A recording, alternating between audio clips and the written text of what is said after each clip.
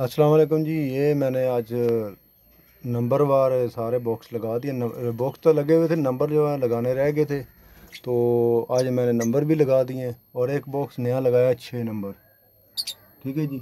और ये एक साथ में मटकी है और ये छः नंबर छः बॉक्स लगाए हैं, ठीक है? पाँच जोड़े पेयर है मेरे पास तो छः बॉक्स लगा दिए सातवीं मटकी है, ठीक है जी? तो ये मैंने जो नंबर वाली शीट जो लगाई है, बिल्कुल ये ऐसे ही प्लास्टिक का शीशा था मेरे पास। तो मैंने उसको गोल कटिंग करके तो ऊपर नंबर लिख के तो सेंटर में सराख मार के नट के साथ जो है ना, लगा दिए ये देखें, मैं अभी दिखाता हूँ आपको नट ये लगा हुआ है। और ये देखें। ये नट के साथ जो है ना, मैंने इनको टाइट कर दिया तो ये बर्ड जो है इसको हिलाएगा भी नहीं। तो बस यही मेरी आज की वीडियो थी, बस यही बनाने का मकसद था, दिखाने का। तो सस्ता काम किया करें यार, जो बाज़ार से मिलते हैं वो ना ख़रीदें, अपना बस एक नंबर लिखें बस, अपना नाम वाम कुछ भी ना लिखाएँ। तो खाली नंबर बॉक्स नंबरिंग होनी चाहिए, बस पता चले आपको कि ये पेड़ फलां लगा हुआ है। इस साल उसने एक पहले महीने में कितनी ब्रीड की है, कितनी नहीं की, कितने बच्चे दिए हैं, वो आप नंबर के हिसाब से अपनी जो है लिखाई कर लें।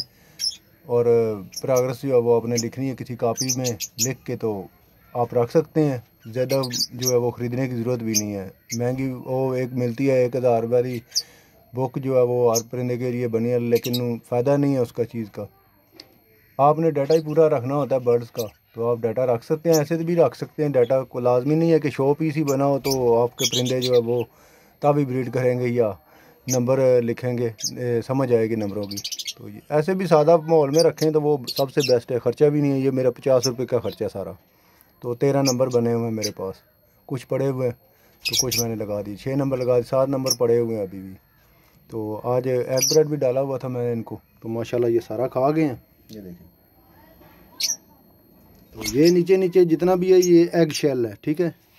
ये मैं इनको साबुत अंडे के छिलके देता हूँ तो ये खुद खा जाते हैं जनाब तोड़ तोड़ के इसको खुद खा जाते हैं और बहुत जल्दी खाते हैं। तो एग फ़ूड के अंदर भी मैंने इनको डाला हुआ ये देखें।